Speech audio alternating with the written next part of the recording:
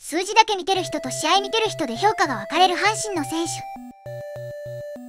数字だけ見てる人間と試合見てる人間で評価分かれる選手。阪神でこれなら WRC プラスそこそこ高いやろうしええんちゃう。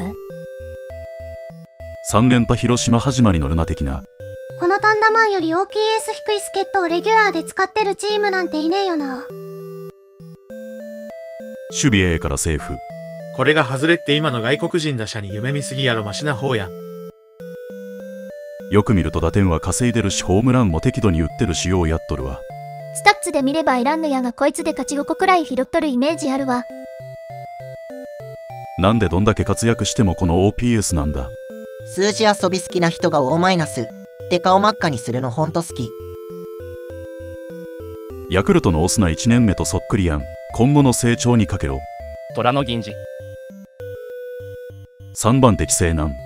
たまにホームランダ出らへたんやんけ。マートン・メッセンジャーを安易に比較に上げるやつ阪神ファンやない。守備がいい。立浪が狙ってたらしい。元内野手の成果補給後の動作早くてええわ。本塁打。二塁打ってクソ鈍足なんか。20打点なら十分な気もする。いいところで打ってくれるから今はまだ気にならんやろ大山佐藤がキスんやから単打でも OK や。理想の高山やん。コミュニティにて額の選手や使ってほしい選手試合の感想や他球団の話などファンの方々と盛り上がれたらと思っています。阪神ファンだけでなく他球団ファンの方もぜひチャンネル登録お願いします。あもちろんコメントと高評価も